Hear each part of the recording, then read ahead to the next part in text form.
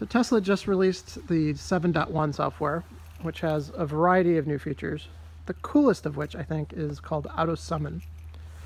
So all I have is my key in my hand, and you can see that the car's parked there. I, I, I left this door open so you could see that, and then the single door closed. If you push and hold center button, car acknowledges, lights up, and then you push the back button to say, hey, back up, the car opening the garage.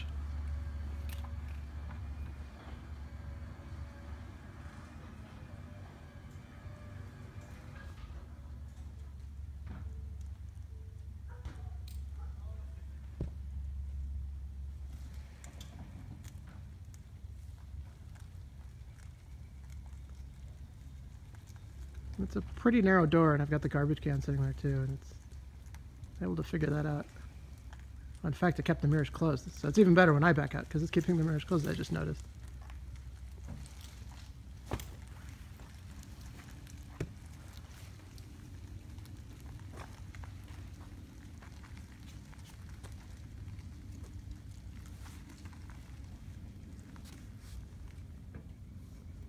That is the coolest thing.